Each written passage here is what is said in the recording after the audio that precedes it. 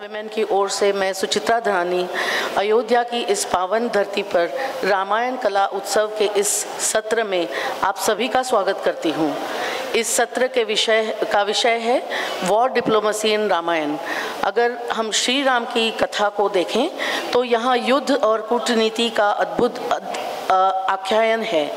ये केवल धर्म के बीच का युद्ध नहीं, भर नहीं, बल्कि आर्य और रक्ष संस्कृति और कहीं न कहीं दो जीवन मान्यताओं के बीच की गाथा है।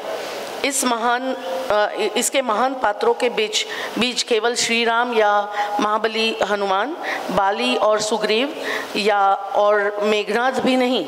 वाकई यह किसी तरह का युद्ध था और मैं, इसमें किस तरह से कूटनीति ने अपनी भूमिका निभाई, उस पर इस सत्र के हमारे विशेष वक्ता प्रकाश डालेंगे। मैं और समय न लेते हुए war and diplomacy in Ramayan विषय पर चर्चा के लिए हमारे बीच उपस्थित अपने अतिथियों, श्री आनंद नीलकंठ जी और श्री अनंत विजय जी के साथ मॉडरेटर की भूमिका निभाने वाले श्री मनोज त्रिपाठी जी का संक्षेप में परिचय दूँगी।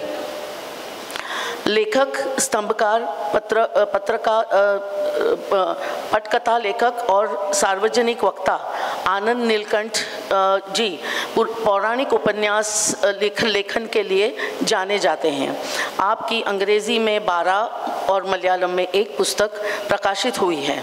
आपकी पुस्तक असुर टेल ऑफ़ द वैलिंक्विज इस की दस लाख से अधिक प्रति प्रतियाँ बिक चुकी हैं।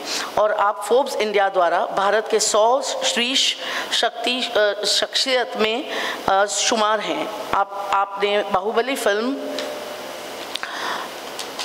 बाहुबली फ़िल्म के लिए उपन उपन्यासों का आधिकारिक प्रीक्वल भी लिखा है।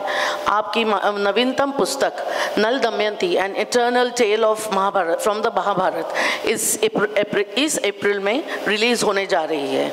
आपने सियाराम और महाबली हनुमान जैसे धा, धारावाहिक भी लिखे हैं। लेखक पत्रकार और स्तंभकार अनंत विजय अनंत विजय जी ढाई दशक से पत्रकारिता में के क्षेत्र में सक्रिय हैं। आपकी 11 पुस्तकें प्रकाशित हो चुकी हैं। इनमें प्रसंगवश कोलाहल कलह में विद्या, विद्याओं का विन्यास, बॉल- बॉलीवुड सेल्फी काफ़ी चर्चित रही। आपकी पुस्तक अमेठी संग्राम संग्राम के के कई संस्करण आ चुके हैं। यह यह पुस्तक हिंदी का, के अलावा अंग्रेज़ी में भी प्रकाशित हुई है। आपने सिनेमा पर सर्वोत्कृष्ट लेखन के लिए राष्ट्रीय फ़िल्म पुरस्कार स्वर्ण कमल से सम्मानित हैं। वर्तमान में दैनिक जागरण में एसोसिएट एडिटर हैं। मैं इन, इस सत्र के संवादकर्ता मनोज रंजन त्रिपाठी को मंच सौंपूं। उससे पहले बता दूँ कि वे तत्कालीन तीस तीस साल से प्रकाशिता के में हैं। आप फ़िल्म अतिथि, तुम कब जाओगे? Part two. Guest in London guest in London के डायलॉग राइटर हैं। फ़िलहाल आप जी मीडिया में एडिटर हैं और को कोड काकोरी नामक उपन्यास के लेखक भी हैं। अब मंच आपके हवाले। आइए प्लीज़ सबको आमंत्रित करूँगी। एक तो मेरे नाम के साथ बड़ी समस्या है कि कुछ लोग मुझे मनोज राजन कहते हैं, जो ओरिजिनली है। बहुत सारे लोग मुझे मनोज रंजन त्रिपाठी कहते हैं और कुछ लोग मुझे मनोरंजन त्रिपाठी भी कहते हैं। तो ठीक है, जो जैसे कहता है, मैं वैसा हो जाता हूँ। मैं भी राम की तरह हूँ। मेरे साथ दो आ बैठे हैं और मैं माँ हूँ तो काफ़ी पीछे हूँ।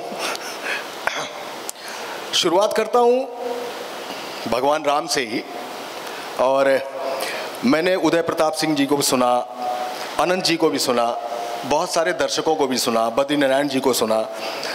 एक समस्या उतनी देर से मुझे सुनते सुनते समझ में आई कि आज की जनरेशन जिसको इंस्टा जनरेशन कहते हैं वो कैसे समझेगी हर बात को, हर हर उस दोहे को, हर उस कैरेक्टर को कैसे समझेगी?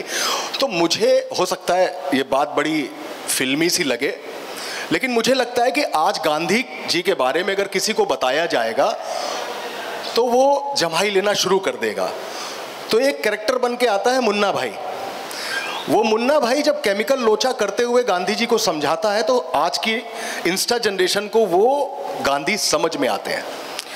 एक भुवन है जो एक क्रिकेट की टीम बनाता है और अंग्रेज़ों से लड़ता है तो उसको समझ में आता है अंग्रेज़ों के खिलाफ लड़ाई हुई कैसे होगी। यही वजह है कि हमारी फोटोजेनिक मेमोरी ज़्यादा बेहतर होती है, इसी वजह से आर आर आर जैसी फ़िल्में ऑस्कर तक पहुँचती हैं और लोगों को स्वतंत्रता संग्राम भी समझ में आता है। तो मुझे लगता है ये तरीका बात करने का ज़्यादा बेहतर होगा और मुझे माफ़ कीजिएगा, अनंत जी आप भी माफ़ कर देंगे, नीलकंठन जी आप भी माफ़ करेंगे, मैं कुछ इसी अंदाज में बात करूँगा। शुरुआत करता हूँ। दुनिया में तेरा है बड़ा नाम, आज मुझे भी तुझसे पड़ गया काम। मेरी विनती सुने तो जानू मानू तुझे मैं राम। राम नहीं तो कर दूँगा सा रामायण के बहुत सारे कैरेक्टर हैं, चाहे वो अंगद हो, चाहे वो बाली हो, चाहे वो रावण हो। जिनको काम पड़ा तो क्या वहाँ ये कूटनीति अपनाई गई, वरना उनके बदनाम होने की स्थिति थी? क्या आपको लगता है कि वास्तव में रामायण में वॉर एंड डिप्लोमेसी जैसी कोई चीज़ थी? कितना इत्तेफाक रखते हैं आप इस बात से? एक तो दो पटकथा लेखकों के साथ मेरा थोड़ा बेमेल सा है। एक बाहुबली है उसमें भी, और एक अतिथि तुम कब जाओगे? तो ऐसे में मेरा काम थोड़ा चुनौतीपूर्ण है। आ, मैं जो भी बात अपनी कहूँगा मैं सबसे पहले स्पष्ट कर दूँ कि तुलसीदास के रामचरित मानस गीता प्रेस गोरखपुर से प्रकाशित कृति के आधार पर करूँ। आपने कहा वॉर एंड डिप्लोमेसी है कि नहीं है? मुझे तो लगता है कि रामायण और महाभारत दो ऐसे ग्रंथ हमारे हैं जो दुनिया के सबसे बड़े क्राइम थ्रिलर को पानी पिला सकते हैं। इतने मोड़, अब आप कल्पना करिए कि कोई व्यक्ति कल इस देश का प्रधानमंत्री होने के लिए अचकन और शेरवानी सिलवा रहा है। तैयारी हो चुकी है, राष्ट्रपति भवन सजाया जा चुका है, निमंत्रण पत्र बांटे जा चुके हैं सुबह उसको शपथ लेना है और सुबह उसको पता चलता है कि आपको चौदह साल के लिए जाना है जंगल में, वन में। तो इससे बड़ा क्या हो सकता है? ये इतने महत्वपूर्ण मोड़ हैं। और ऐसे मोड़ महाभारत में भी बहुत हैं, रामायण में भी बहुत हैं। रामायण जब मैं कहूँ तो रामचरित मानस समझा जाए उसको।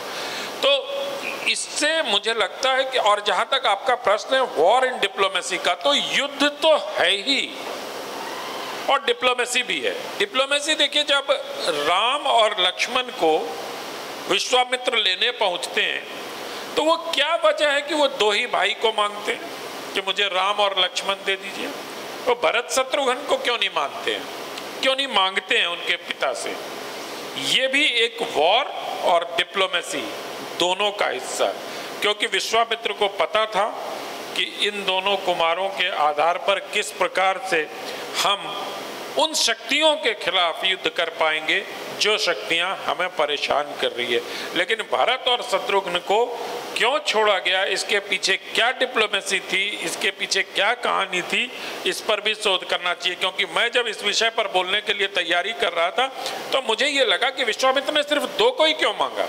वो तो कह सकते थे कि मुझे असुरों से लड़ना है राक्षसों से लड़ना है चारों बेटे को दे दीजिए। चारों को मैं ट्रेन करूँगा आश्रम में।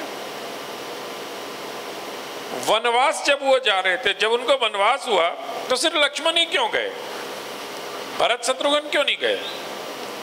सीता क्यों उनके साथ गई? क्योंकि जो प्लॉट है, उसमें वॉर दिख रहा है राइटर को। उनको वॉर कराना है। उनको डिप्लोमेसी की बात आगे करेंगे तो मुझे लगता है कि ये दोनों हमारे जो ग्रंथ हैं, जिनको कहते हैं, जिनके बारे में अभी आ, किसी ने चर्चा में कहा कि अनंत मूर्ति कहते हैं कि रामायण और महाभारत की भाषा तो पूरे देश को समझ में आती है। तो इन दोनों ग्रंथों का वेश इन दोनों ग्रंथों का आधार और इनकी भावभूमि दोनों ग्रंथों की युद्ध और कूटनीति है। और अब तो हमारे विदेश मंत्री ने भी हाल में इस बात को कह दिया है उस पर आप बाद में पूछेंगे। मेरा ये मानना है कि रामचरितमानस जहाँ से आरंभ होता है वो युद्ध की विभीषिका या युद्ध की पूर्व पीठिका या लेखक के दिमाग में कहानी का ऐसा प्लॉट है कि उसको डिप्लोमेसी के सूत्र भी देने हैं और उसको युद्ध के सूत्र भी देने मेरे ख्याल से एक ताली इसलिए बजनी चाहिए कि आज हम किसी ग्रंथ के बारे में, महाकाव्य के बारे में बात नहीं कर रहे हैं। आज हम एक प्लॉट के बारे में बात कर रहे हैं। तो मुझे लगता है कि Ramayan is the best story idea जो साढ़े सात सात हज़ार साल पहले लिखी गई होगी। एंड रामचरित मानस जो पाँच, साढ़े पाँच सौ साल पहले लिखी गई द बेस्ट स्क्रीन प्ले अब मैं आनंद जी के पास आता हूँ।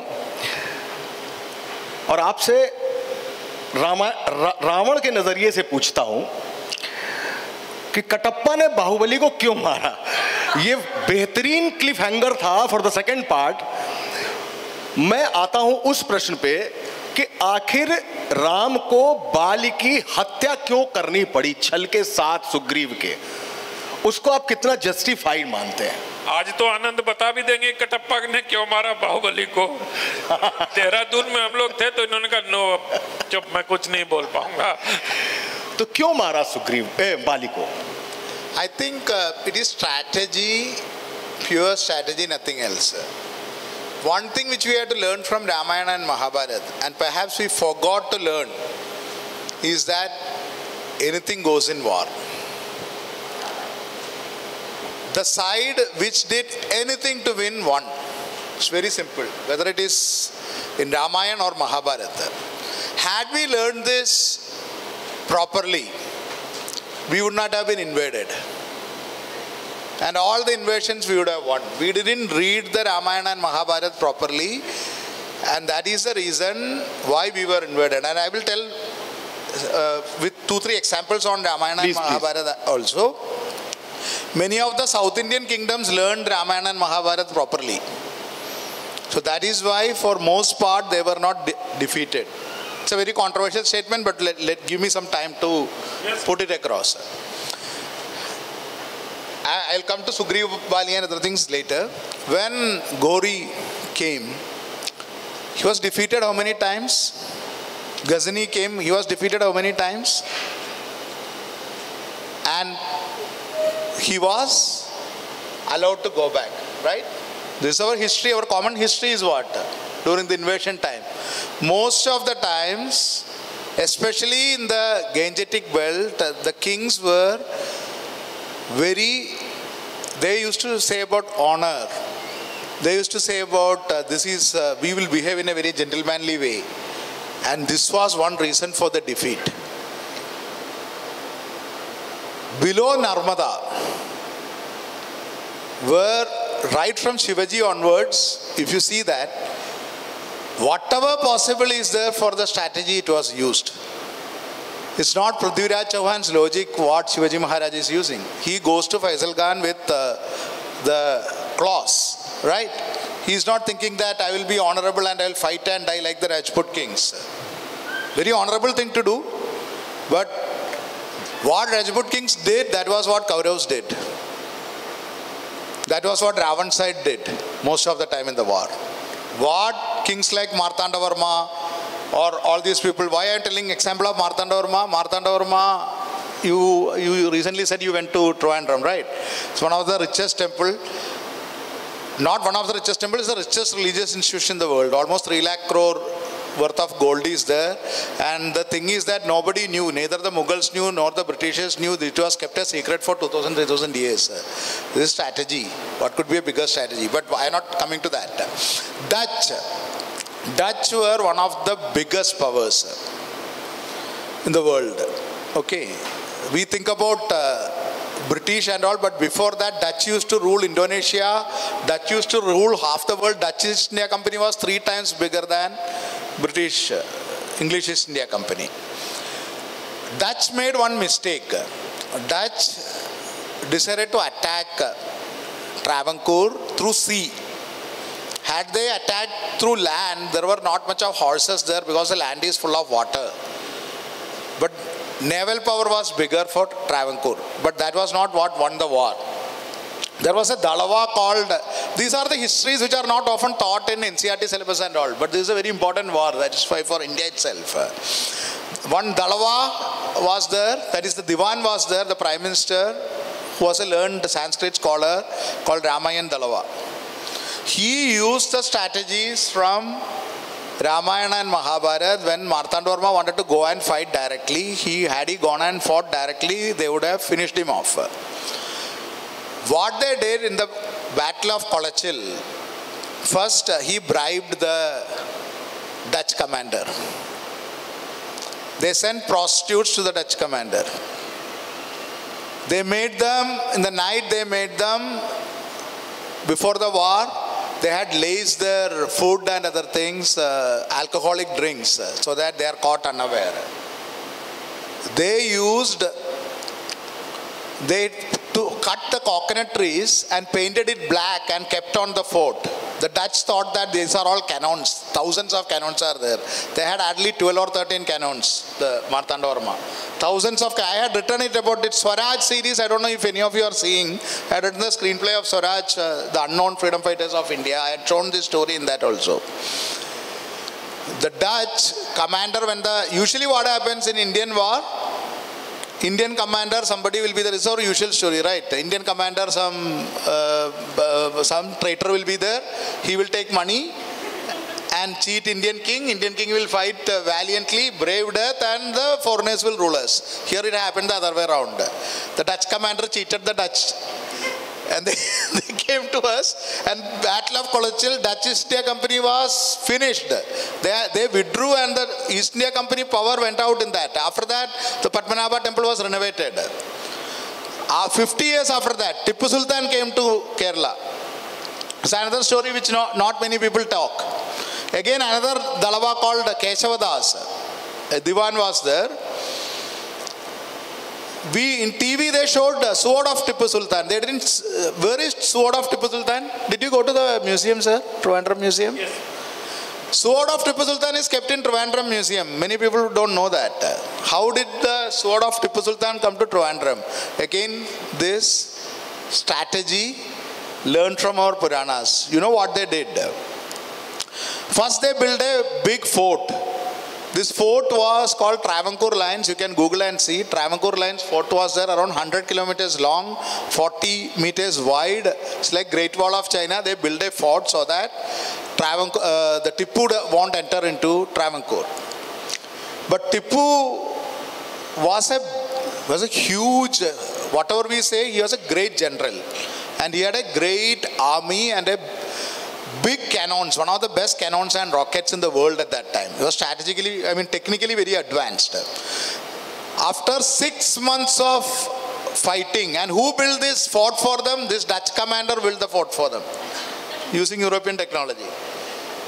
But Tipu broke it. Tipu broke the fort and entered, and near Cochin airport, there is a huge ground on the uh, Periyar River the, on the Periyar River before Cochin, that, that place, the Tipu, the entire Tipu's army camped. They were going to enter this Raja Keshavadas and uh, Dharmaraja, is called Dharmaraja, the king, he sent uh, a letter to Tipu saying that uh, we are going to accept defeat. We are all going to convert to Islam.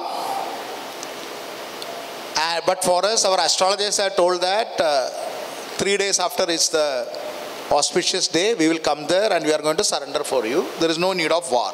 Tipu waited there. Three days back, what Tipu didn't understand is monsoon strikes Kerala on June 1st, like clockwork. And it is like waterfall. It's like opening the waterfall. It's that kind of rain. On June 1st, when the monsoon started, just before the monsoon started, there is a dam, a thousand year old dam is there 50 kilometers uphill, which is supposed to be, supposed to, the legend is that the Shiva, Lord Shiva's Bhudaganas had built it. Some old, some king had built it those days, some dam is there, which was used for irrigation. Eight people broke this dam using the gunpowder taken from the Dutch. They broke this dam and half the Tipu's army was washed away. They didn't go by the promise. It's Ra- Raja is uh, giving promise on Sri Padmanabha that I am going to leave Sri Padmanabha and become Muslim. Nothing against any religion. I am talking about strategy. I am going to become Muslim and he is breaking that word. This is exactly what Lord Krishna had done in against Kaurava. There is not a single Kaurava general who was killed in a proper way. Everybody was killed using some strategy or other.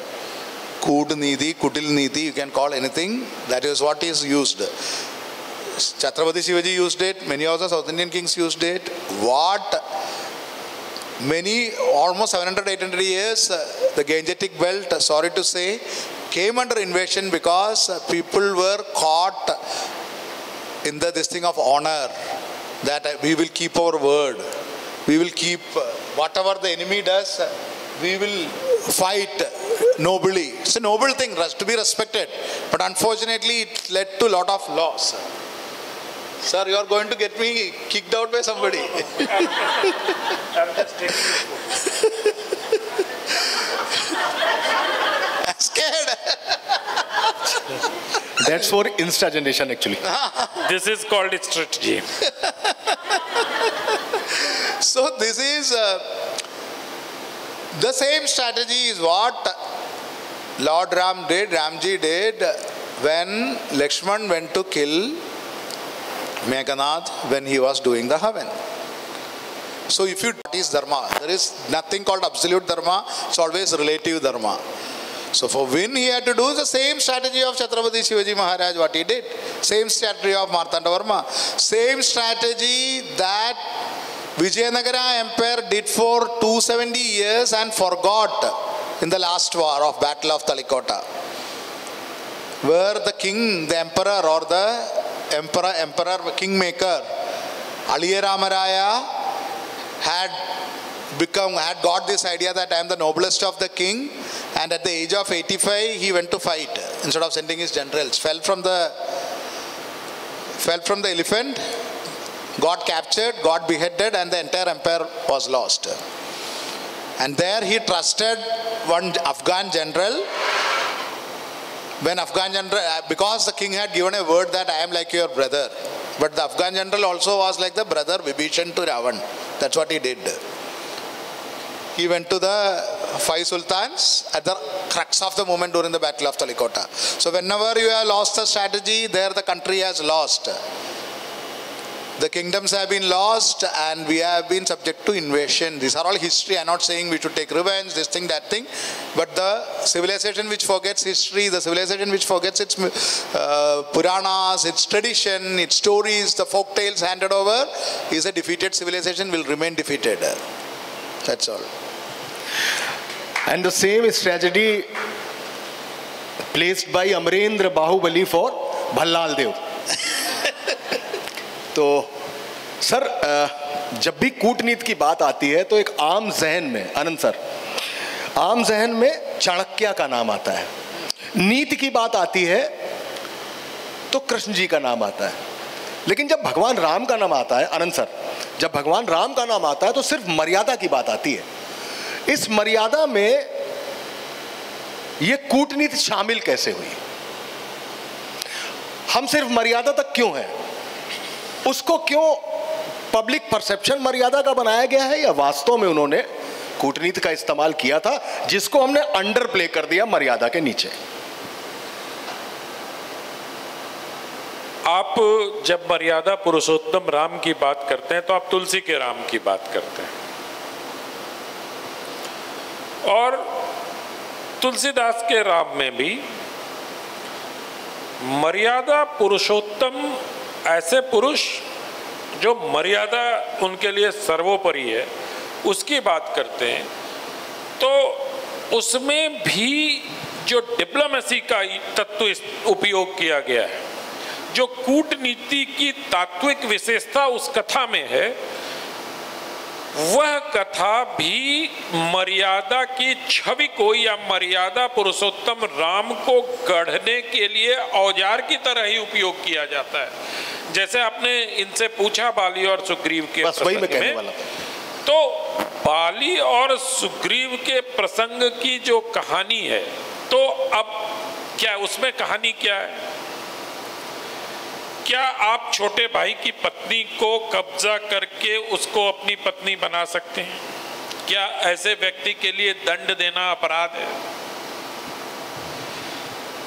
और दंड भी तब दिया जाता है जबकि जिस व्यक्ति की को दंडित किया मर्यादा पुरुषोत्तम राम ने उसका पुत्र उनकी सेना में शामिल हो जाता है। मैं आ रहा हूँ जी आप कंप्लीट कर लीजिए। तो अगर आप देखें तो तुलसीदास जी ने जिस मर्यादा पुरुषोत्तम की परिकल्पना धनुष के समय से या विश्वामित्र के दो भाई के मांगने की घटना से किया है वो आपको, वो चरित्र का सातत्य आपको पूरी कथा में दिखाई देगा। और तुलसीदास जी जिस प्रकार से उस चरित्र को शक्ति प्रदान करने के लिए कूटनीति का प्रयोग करते हैं, वो बहुत उल्लेखनीय है उस कथा में। और सिर्फ़ वही नहीं, आप देखिए कि जब वो धनुष यज्ञ होता है, या जब सीता का स्वयंवर होता है ठीक है? तो उस समय भी आपको कूटनीति की। वो जो परशुराम और लक्ष्मण का संवाद होता है धनुष के टूटने के बाद, वो कोई साधारण संवाद नहीं है। वो कोई हास परिहास का संवाद नहीं है। वो कोई उपहास या किसी संत को अपमानित करने का संवाद नहीं है, वो एक विशेष प्रकार की कूटनीति है, जिसके अंतर्गत उस संवाद की पृष्ठभूमि में राम के चरित्र को कवि ने ऊपर उठाकर रख दिया। है तो अगर आप एक कथा के तौर पर तुलसीदास जी को देखेंगे तो तुलसीदास जी अपने उस मूलभूत उद्देश्य में, जो उन्होंने श्री राम के जन्म के समय पकड़ा है जिस कथा सूत्र को, वो राम के राज्याभिषेक के बाद वो अपनी कथा को समाप्त करते हैं। लेकिन जन्म से राज्याभिषेक के बीच में जितने कथा तत्व हैं और जिस जिस बारीकी से उन्होंने रामचर, श्री राम के चरित्र का निर्माण करने के लिए उसका उपयोग किया है, उसमें उन्होंने सारे प्रकार के कूटनीतियों का, युद्ध नीतियों का, परिवार नीतियों का, समाज नीतियों का, स्त्रियों के प्रति एक व्यक्ति की नीतियों का परिवार के प्रति अपनी उत्तरदायित्व की नीतियों का अपनी विमाता के प्रति उत्तरदायित्व का अपनी माता के प्रति उत्तरदायित्व का अपनी पत्नी अपने छोटे भाई की भार्या के प्रति उत्तरदायित्व का पूरा बोध तुलसीदास एक कथा सूत्र में पिरोकर ले चलते हैं। हाँ आप कुछ कह रहे बोलिए बोलिए। हाँ मैं ये कह रहा था ठीक बात है। आप रामचरित मानस को लेकर चल रहे हैं तो रामचरित मानस में वास्तव में लक्ष्मण जी ने व्यंग करके परशुराम जी को थकाने की कोशिश की, इसमें कोई दो राय नहीं। लेकिन वाल्मीकि की रामायण में लक्ष्मण मौन रहते हैं उस पूरे संवाद के दौरान। आपकी बात को मैं ये नहीं कह सकता कि मैं आपसे इत्तेफाक नहीं रखता हूँ, लेकिन चलिए, एक इंस्टा जनरेशन की तरह मैं आपसे पूछता हूँ कि विमर्श आज किसी भी चीज़ का हल है। हर चीज़ में। मैं आप ही से पूछूँगा सर ये सवाल। विमर्श हर चीज़ की एक बात है। अभी तक मेरे उस चीज़ का उत्तर नहीं आया है सामने कि वो बाली के साथ विमर्श कर सकते थे। आप उसके थोड़ा सा हार्श हो जाता हूँ। आप उसके बाप की हत्या भी करेंगे। सुग्रीव से अंगद डरकर भी रहेगा कि अगर राम नहीं होते तो मेरा चाचा मेरा भी वध कर देता और आप अंगद को कूटनीत के तहत युवराज बनाते हैं और सुग्रीव को राजा बनाते हैं। उसके पिता ने गलती की थी तो उसके पिता को आपने मृत्यु दंड दे दिया। चलिए तो उसके बेटे को युवराज क्यों बनाया? युवराज क्यों बनाया? उसको किंग क्यों नहीं बनाया? ये कूटनीति कैसी होगी? अभी ये सवाल लगातार चल रहा है, इसलिए मैं इसका उत्तर जानना चाहता हूँ। आप सचमुच इंस्टा जनरेशन की तरह बिहेव करने लगे, जहाँ बगैर संदर्भ को समझे हुए प्रश्न पूछे जाते हैं। जो वो कहानी है, उसको समझने का प्रयास करिए। बाली को ये वर प्राप्त था कि जिसके सामने से आप युद्ध करेंगे, उसकी आधी शक्ति आप में समाहित हो जाएगी। तो अगर मानिए कि बाली में दस हाथियों का बल था मैं उदाहरण से समझाता हूँ आपको क्योंकि आप इंस्टा जनरेशन है आप तो लॉजिक पे बात करेंगे। मैं उनका तो मैं पर... लॉजिक देता हूँ आपको कि बाली में दस हाथियों का बल था और श्री राम में पचास हाथियों का बल था। ठीक है? लोग ये कहते श्री राम तो सामने से मार देते। लेकिन जैसे ही श्री राम बाली के सामने खड़े होते वो पचास हाथी का बल पच्चीस हो जाता और वो पच्चीस बाली में ऐड हो जाता। तो twenty five plus ten thirty five हो जाता। 35 हाथियों के बल वाला ज़्यादा बलवान या 25 के हाथियों के वाला ज़्यादा बलवान? तो इसलिए वोट लेके मारा उसको। Sir my my I something is wrong with the maths to you know i just got curious uh, because uh, Tulsidas ji की not talk about Valmiki Ram Valmiki Valmiki ji की रामायण में Ram is आदर्श पुरुष is just a human but Tulsidas ji में अवता विष्णु ही है Valmiki half half of Vishnu with other three it becomes full different version are there but Tulsidas ji it is fully Vishnu Vishnu is what infinite what is half of infinite बोलो sir हाँ बिल्कुल sir बिल्कुल। ज़्यादा interesting है। वो वो श्री राम अवतार थे, विष्णु नहीं थे। पहली बात तो हमें यह समझना पड़ेगा। अवतार और भगवान में अंतर होता है। और बाली को शिव का वरदान प्राप्त है। तो जब आप मर्यादा चरित्र का ग्रहण कर रहे हैं तो मर्यादा के करेक्टर को उभारने के लिए यह आवश्यक है कि आप शिव की प्रतिष्ठा का ध्यान रखें।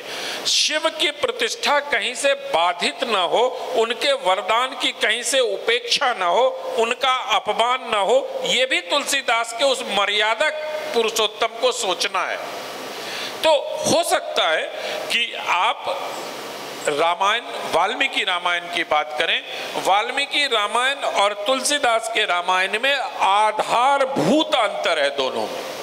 दोनों बहुत ही अलग अलग कालखंड में कही गई समयानुकूल कथा है, जिस एक कथा में, जैसे मैं अभी आपसे बात कर रहा था, कि जब अशोक वाटिका में हनुमान पहुँचते हैं और सीता से उनका संवाद होता है तो उस संवाद को हम सार्वजनिक रूप से बात भी नहीं कर सकते इस इस समय में। लेकिन तुलसीदास का जो करेक्टर है, तुलसीदास का जो चरित्र है, मर्यादा पुरुषोत्तम, वो वो सेंट्रल थीम है उस उस उस महाग्रंथ का। तो आपको ये समझना पड़ेगा कि जब हम तुलसीदास के आधार पर बात करते हैं तो उसमें आप इस बात को डिस्काउंट करके नहीं चल सकते कि कवि एक सामान्य पुरुष की कल्पना कर रहा है। कवि का लक्ष्य है अपने सेंट्रल करेक्टर को मर्यादा पुरुषोत्तम के रूप में स्थापित करना और वो हर युद्ध में, हर घटना में, हर परिस्थिति में, हर स्थिति में उसको कवि ध्यान में रखता हुआ चलता है और इस प्रकार से कथा का गुम्फन करता है कि अंततः वो मर्यादा पुरुषोत्तम साबित कर सके। मेरा इतना ही कहना है। ये बहुत अच्छी बात है कि हम जब भगवान राम की बात करते हैं तो भगवान कहते हैं उनको। और आनंद जी जब बात कर रहे हैं, आनंद जी जब बात कर रहे हैं तो एक कवि का कैरेक्टर सामने आ रहा है। तो हम भगवान की बात भी कर रहे हैं और हमें कवि के करेक्टर की बात भी कर रहे हैं। तो अब दोनों बातें सामने आ गई हैं, जिसमें एक करेक्टर है और वही करेक्टर आगे चल के आम जन का भगवान भी हो जाता है।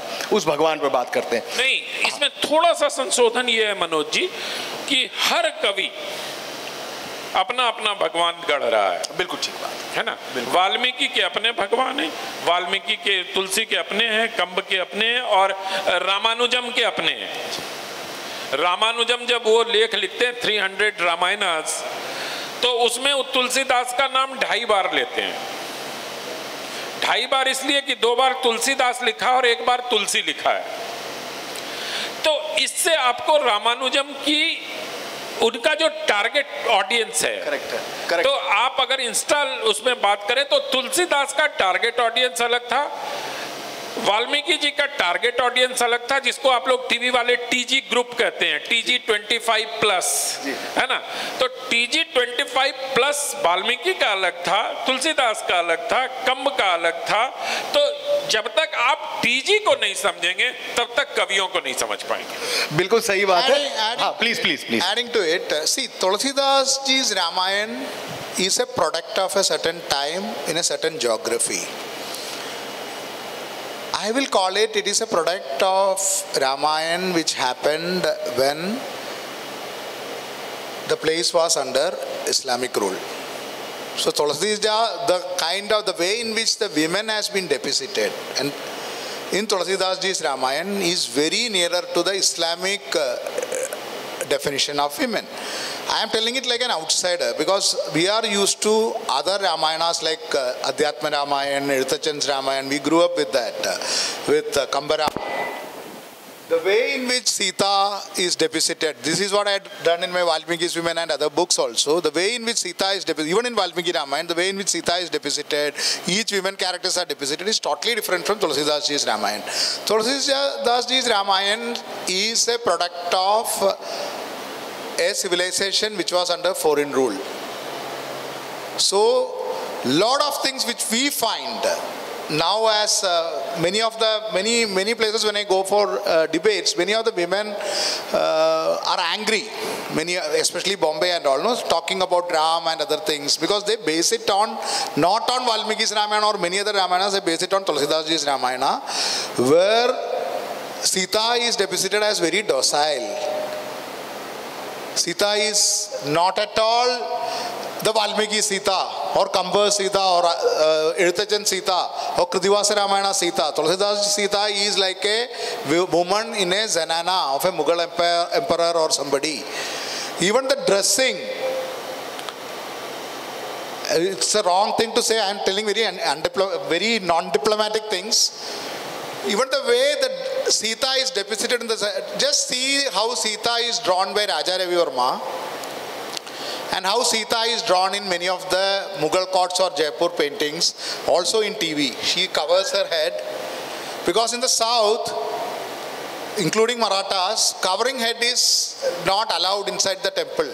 When you go to temple, you should not cover your head. If somebody covers and goes, uh, they will see because only Muslims cover the head. Try going to Padmanabha, try going to any uh, Tamil Nadu temple or Karnataka temple. If you try to cover your head, uh, some priest will come and say, please don't cover your head. Clear cut difference of how Raja Ravi Verma has depicted Sita, the way they say it, the way they stand. Whereas the moment you come to Ramanand Sagarji's uh, Ramayana, even though he had claims to have taken from many Ramayans, more or less he has based on Tulsidas Ramayana. Sita is sitting like this with head covered. She is more like a woman in a Islamic court. Unlike the Sita of, there are six major versions. Later it came to two major versions of Valmiki Ramayana. I'm not talking about AK Ramayana's 300 Ramayans or 1200 Ramayans. I'm talking about Valmiki Ramayana itself has six renditions, major renditions, where many of the things vary. So you can't even say Valmiki Ramayana is authentic. Which Valmiki Ramayana becomes a question. So there is a southern rendition, there is an eastern rendition which is in Bengal and Odisha, southern rendition in these four states. There is a northeastern rendition in Assam. Assam and other places, there is a North Indian rendition of Sanskrit. I'm not talking about Assamese Ramayana, I'm talking about Sanskrit Ramayana in Northeast. I'm talking about Sanskrit Ramayana in the South. I'm talking about Sanskrit Ramayana in the Odisha, in Bengal. There is a Northwestern Valmiki edition, which is more similar to Ramopakhyana in Mahabharata. That Valmiki version is there. There is the Western version, Gujarati and Maharashtra version. All the six versions have their own lots of differences and lots of similarities. But none of them have the characterization of Sita or any women like how Tulsidas ji had played. It's nothing wrong in that. No, Tulsidas ji is one of the most uh, beautiful and uh, devotional Ramayanas. Because it was, how did the Bhakti movement originate? Bhakti movement is actually, if you see the out of the four margas, Bhakti Marga is the easiest one. If you take the Jnana Marga or Gyan Marg or Rajamarga or uh, uh, and you come to the final one is the bhakti marga karma marga and the final is the bhakti marga bhakti marga though it originated in the dravid in bhagavatam it says that bhakti is considered as it was born in tamilagam grow, grew up in karnataka and reaches narad sees in the in some versions in ayodhya in some versions in vrindavan and from there it starts. But Bhakti Marga was a product of when the India went, went under inversions, it is a product of a defeated civilization. It was a way of tackling things where you lose the confidence to question. So Valmiki doesn't have that problem. Other Ramayanas before that, uh, Kalidasa when he writes Raghuvamsha, he doesn't have that problem. He will tell it openly. But as we come, already our morality also changes depending on who rules us. So Tulsidas is the women characterizations. I not I won't tell it completely, but is hugely influenced by the Islamic ethos. And that is why sometimes when we read it from the modern versions, many of us feel that uh, women are sometimes oppressed. They feel it actually they are not, but you feel that they are oppressed, which is not true about many other Ramayanas. That's the only thing I will put here. एक interjection है इसमें अ, इन्होंने बहुत इस्लाम और काल को रामानंद सागर जी और राजा रवि वर्मा के आधार पर सीता के घूंघट की जो छवि बनाई, उसको इस्लाम से प्रेरित बता दिया। हो सकता है, इनकी सोच है, इनके सोच को का मैं सम्मान करता हूँ, इनके अध्ययन का भी सम्मान करता हूँ, लेकिन अगर आप अमरावती की गुफाओं में उपलब्ध भित्ति चित्रों को देख लें, जो कि ईसा से भी 2000 वर्ष पूर्व की है अगर आप उड़ीसा में के मूर्ति कला को देख लें जो कि ईसा और इस्लाम से पहले के हैं अगर आप कर्नल टेलर की किताबों को पढ़ें अगर आप एक किताब है सर मैं राइटर का नाम भूल गया उसका आ, वो ट्राइब्स ऑफ़ बनारस करके एक किताब है, बहुत फ़ेमस किताब है। उसमें भी जिस प्रकार के वस्त्रों की का वर्णन किया गया है, जिस प्रकार से नींव एक चीज़ कही गई है। अब नींव का मतलब इजार बंद को कहते हैं। अगर इजार बंद नहीं था तो सिले हुए वस्त्रों का प्रयोग कैसे होता था? तो इस्लामिक प्रभाव को देखने के लिए पहले भारतीय वांग्मय में, भारत के प्राचीन ग्रंथों में उसको लेकर क्या चीज़ें उपलब्ध है अगर राजा रवि वर्मा ने और अपने रामानंद सागर जी ने सीता को घूंघट वाली सीता दिखाया तो उसको ये देखना चाहिए कि सीता के उस चित्रण में क्या विवाह पूर्व सीता का चित्रण है या विवाहोपरांत सीता का चित्रण है। और जो मुंबई की महिलाएँ तुलसीदास जी के बारे में राय बनाती हैं, वो तो वैसी ही हैं जैसा मैंने अभी बताया था कि सीता को क्यों बाहर निकाल दिया भाई? तो अगर आप बी आर चोपड़ा के सीरियल को देखकर सीता का करेक्टराइजेशन समझने का प्रयास करेंगे तो मुझे लगता है कि कुछ और राजा रवि वर्मा चूँकि दक्षिण भारत के थे, इसलिए उनकी चित्रों में वहाँ की वास्तविकताओं का या वहाँ के, वहाँ से जो उत्तर भारत के चरित्र को देखने का एक प्रिज्म है, उसके हिसाब से चीज़ें आना कोई बुराई भी नहीं है उसमें, बल्कि अच्छी बात है, क्योंकि राम और सीता की जो तस्वीर अभी हम लोग देखते हैं, उसमें से अधिकतर तस्वीरें राजा रवि वर्मा की बनाई हुई हैं। ये अलग बात है कि हनुमान प्रसाद पोदार जी ने कल्याण पत्रिका के लिए तीन चित्रकार रख के सारे देवी देवताओं के चित्र बनाए थे जो गोरखपुर के गीता प्रेस में एक आर्ट गैलरी में सुरक्षित है। तो हमको, मैं हमेशा से इस बात का आग्रही हूँ कि हमें कोई भी चीज़ आइसोलेशन में नहीं समझना चाहिए। हमें होलिस्टिक अप्रोच के साथ उसको देखना चाहिए। समग्रता में, जैसे सिंहावलोकन जिसको हिंदी में कहते हैं, वो करना चाहिए ताकि हमसे सामने की चीज़ें भी देखें, पीछे की चीज़ें भी देखें। और आजकल कुछ लोग राइट की चीज़ें ज़्यादा देखते हैं तो मैं उनसे आग्रह करता हूँ लेफ़्ट भी देखो राइट भी देखो। तभी आप सेंटर पे पहुँच पाओगे। एक अच्छा गोलकीपर वो होता है जो लेफ़्ट और राइट दोनों को देखता है और सेंटर फॉरवर्ड पर भी नज़र रखता है। तो एक अच्छे गोलकीपर होने के लिए आवश्यक है कि आप लेफ़्ट लेफ़्ट राइट और सेंटर गोलकीपर पर नज़र रखें। तो मैं ये इस्लाम वाली थोड़ी अच्छा आपने दूर की कौड़ी लाए कौड़ी है भी बहुत मनोरंजक। खिलाड़ी बहुत अच्छा खेल रहे हैं और एक अच्छे गोलकीपर की तरह लेफ़्ट और राइट दोनों तरफ़ देख रहा हूँ। एक Most of the cave paintings, most of the sculptures, uh, they don't have upper clothes for women. Forget Gungat. It is nothing wrong. That was uh, most of the hot Asian countries, it was never considered as uh, necessary. So you find that across Asia, wherever the Hindu civilization Buddhist civilization have gone, many of them don't have the upper clothes. Many of the idols, you go to museum and see, most of the idols in the museum don't have upper clothes. Many of the, where they are kept it in temples, they don't have it. Idols are there. How the idols are kept? What is their dress?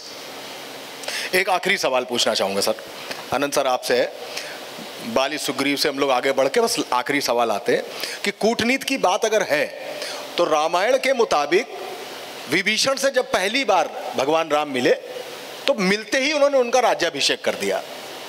और रामचरित मानस के अनुसार जैसे ही विभीषण पहली बार राम से मिलते हैं आके तो कहते हैं पधारिए लंकेश ये क्या कूटनीति है? पहले ही कैसे कह दिया उन्होंने कि अब यही फिर एक फिर एक भाई को भाई से मिला लिया अपनी तरफ़। अब यही जो आपका प्रश्न है ना ये बी आर चोपड़ा पे आधारित है।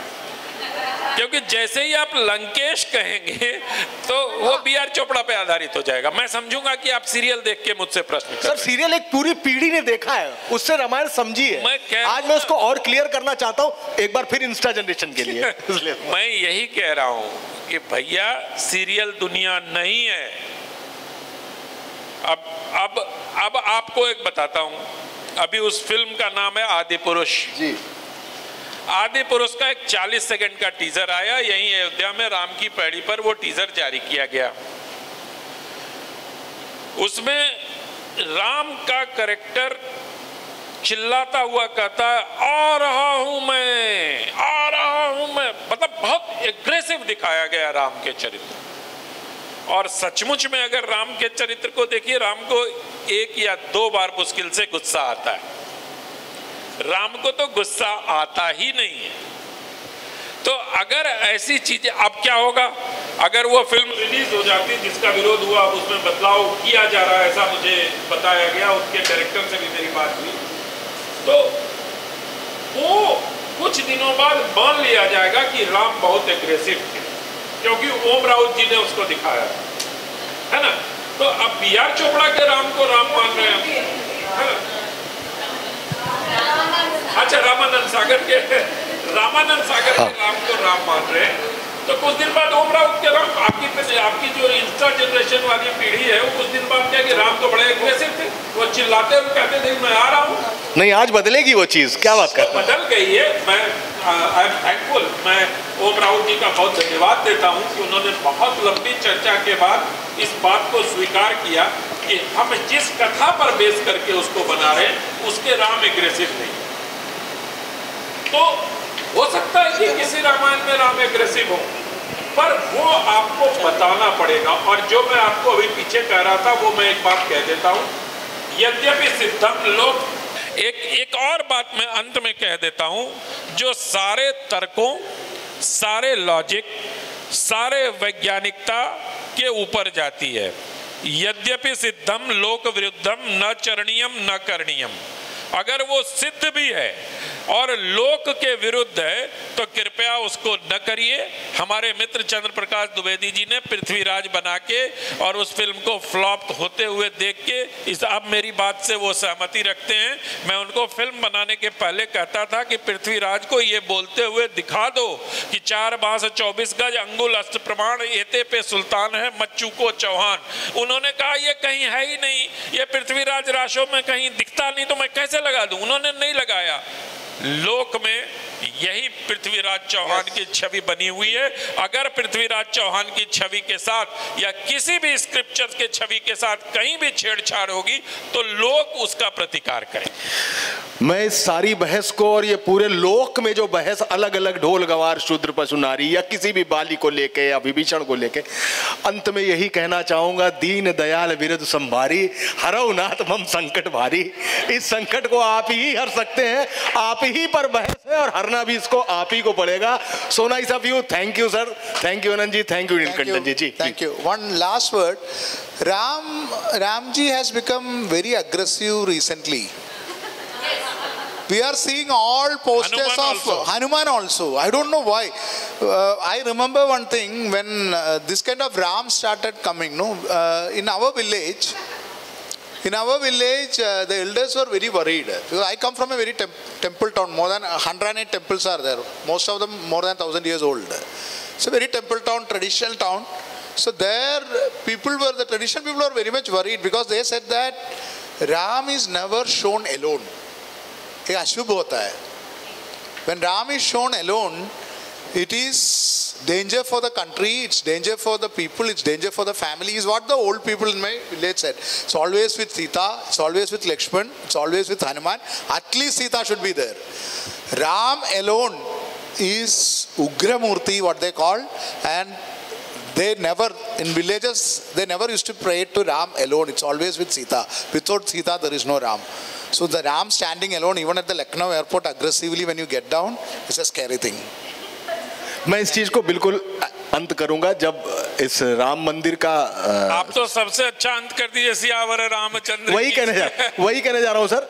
जब ये यहाँ पर शिलान्यास हुआ था तब देश के प्रधानमंत्री नरेंद्र मोदी जी ने भी कहा था कि अब जय श्री राम कहना नहीं ठीक होगा। क्योंकि वास्तव में स्त्री का नाम लिए बना किसी का सम्मान विकलांग होता है। इसलिए बेहतर है कि अब सीताराम कहना शुरू करिए। तो Sitaram Sitaram. Thank you sir Ram. Prabha Khaitan foundation और एहसास वेमेन की ओर से मैं आप सभी का हार्दिक आभार प्रकट करती हूँ। उम्मीद है आज़ादी के इस अमृत महोत्सव वर्ष में आपने रामायण कला उत्सव के इस विशेष war and diplomacy in Ramayan का आनंद लिया होगा। मैं इस सत्र के अतिथि वक्ता श्री आनंद नीलकंठ जी, श्री अनंत विजय जी और श्री मनोज राजन जी राइट राजन जी का धन्यवाद करती हूँ। अब मैं एहसास वुमन उदयपुर श्रद्धा जी से अनुरोध करती हूँ कि वे आए और अतिथि वक्ताओं का अभिनंदन करें। आयोजन समिति के से प्रायोजक श्री सीमेंट संस्कृति मंत्रालय, भारत सरकार और साहित्य कला अकादमी का भी आभार प्रकट करती हूँ।